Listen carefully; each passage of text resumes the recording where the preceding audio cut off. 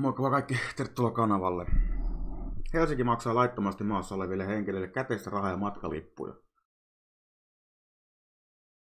Ei todellakaan näin. Kelan lakimies Antti Klemola selvisi Suomen uutiset tammikuussa 2018, että laittomasti maassa oleva henkilö voi saada pieniä määriä toimeentulotuen, toimeentulotukea välttämättömän elämiseen. Suomen uutiset sai vinkin, että Helsingin kaupunki maksasi laittomille maassa oleville henkilöille myös käteistä rahaa sekä HSL matkalippuja. Käytännössä kyse on ruoka- ja lääketarpeisiin tarkoitusta avustuksesta, jota annetaan maksusitoumuksella muutamaksi päiväksi kerrallaan. Lemola sanoi toimeentulotuesta. Helsingissä tuen maksaa kaupunki, ei Kela. Tota mä en edes tiennyt. Mä oon ollut aina ollut, se on Kela, ketä maksaa noin. Kela ei tällä hetkellä maksa laittoman maassa olijoiden tukea Helsingissä. Kaikki Helsingin, Helsingissä maksut toimeentulotuot laittomasti maassa maksetaan suoraan Helsingin kaupungin sosiaalivirastosta. Hmm, Kysymysmerkki minkä takia? Helsingin kaupungilla on vain yksi maahanmuuttoyksikkö, jos toimeentulotukea maksetaan, maksetaan laittomasti maassa oleskeleville. Helsinki jättää myös käteistä. Helsingin kaupungin sosiaali- ja terveys, terveystoimen perhe- ja sosiaalipalvelujen johtaja Maarit Sulavuori vastasi Suomen uutisille laittomasti maassa olevien toimeentulotukeen liittyviä kysymyksiä. Annetaanko laittomasti maassa, ole, maassa oleville henkilöille HSL matkalippuja? Jos annetaan, niin millä perusteella? Tarvittaessa asioiden hoitamista varten. Annetaanko laittomasti maassa oleville henkilöille rahaa? Aiemmin on kerrottu, että maksutomuus voidaan antaa esimerkiksi ruokaa varten. Toimeentulotuen päätös tehdään pääsääntöisesti 16 vuorokauden ajalle, ja siihen voidaan liittää lyhyemmäksi ajaksi voimassa olevia maksusitoumuksia. Tämä vastaa paremmin paperittomien henkilöiden palvelutarvetta, koska heillä on rajalliset mahdollisuudet esimerkiksi säilyttää tai valmistaa ruokaa. Osa tuesta voidaan myöntää myös käteisenä maksusitoumuksena nostettavaksi yleisökassasta. Esimerkiksi puhelinkuluihin. Pääsääntöisesti annetaan maksusitoumus lääkkeisiin ja ruokaan. Maksetaanko laittomasti maassa oleskelle majoituskuluja, jos niin miten? Hätämajoitusta järjestetään kolmas sektori kaupungin avustuksella. Lapsiperheen kyseessä olleessa voidaan järjestää kri- kriisimajoitusta. Alkuvuoden toimeentulotuen menot laittomasti maassa olevien henkilöiden osalta. Meillä ei ole suoraan saatavissa koskaan, tätä ei tilastoida kuukausitasolla. Paperiton henkilö voi saada toimeentulotukea kuukauden aikana keskimäärin noin 255 euroa. Jos paperittomien toimeentulotukiasiakkaita on 120 henkilöä kuukausittain, ovat kustannukset noin 30 600 euroa kuukaudessa. Eli viiden kuukauden aikana kustannukset olisivat noin 153 000 euroa vuodessa. Toteutuuko yhdenvertaisuus esimerkiksi vähävaraisten eläkeläisten tai muiden toimeentulotuen asiakkaiden osalta HSL-lippujen myöntämisestä? Kysymysmerkki. Ei. Vastaus. Mun oma kokemus ei. Heillä on usein myös paljon asiointia, joihin tarvittaisiin matkalippuja. Myönnetäänkö heille myös lippuja asiointia varten?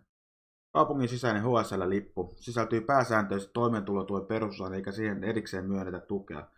Muuta kuin silloin, kun henkilö on töissä tai koulussa, jolloin kuukausikustannukset huomioidaan.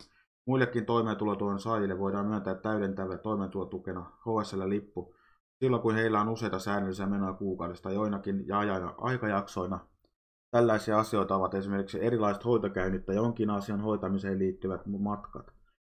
Mikäli paperittomalle myönnettäisiin tuo perustoimeentulotuen perusosa kuukaudessa, heille ei myönnettäisi HSL-lippua.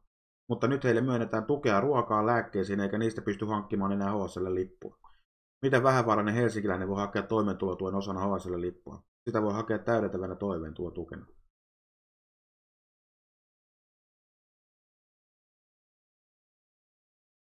Tässä näin näkyy niitä oikeita lukuja paljon noin maahanmuuttajia menee rahaa.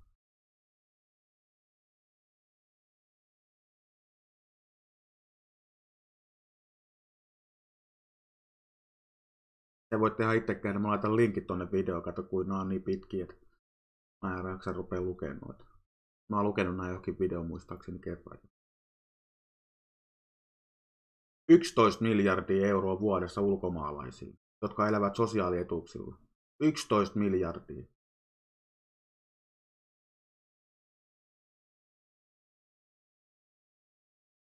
Lista asioista, jotka sosiaalitoimi kustantaa maahanmuuttajille.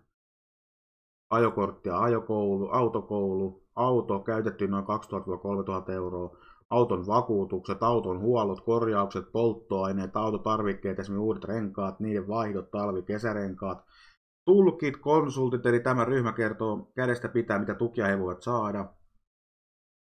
Kaikki seuraavat laskut, vesi, sähkö, puhelin, netti, vuokra, vakuutukset, esimerkiksi koti, YMS, sossu maksaa. Kaikki uudet kodinkoneet, uudet kodin elektroniikka, esim. uudet taulutelevisiot, älypuhelimet koko perheelle, pelikonsolit, PS4, Xbox 1, kannettavat tietokoneet, pölynimuri, riesi, jääkaappi, pakasti, mikroaaltouuti, pyykinpesukone, astianpesukone, ienne, kaikki uusia.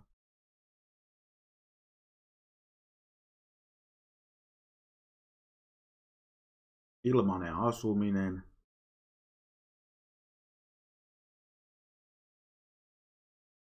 Maahanmuuttajan aloituspakkaus 6 000 10 000 euroa. Ne saa sinne kämppää kaikki uutena. Ei todellakaan näin.